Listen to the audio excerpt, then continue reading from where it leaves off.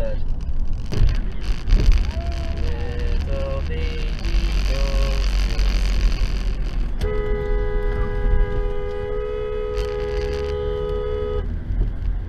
Wow!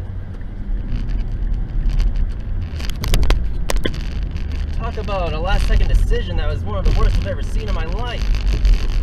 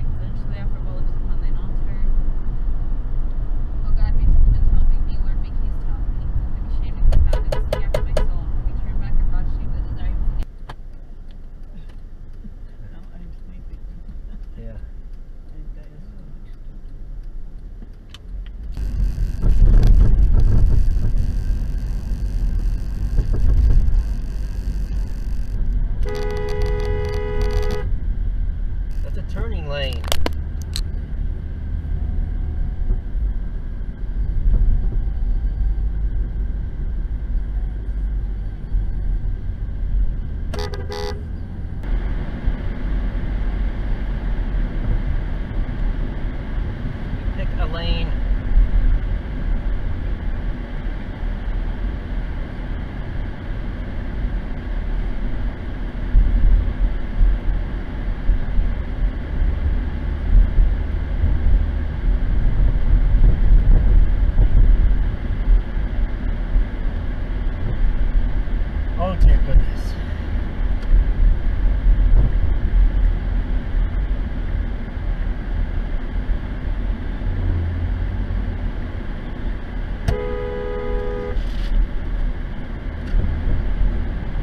just to go straight from the turning lane.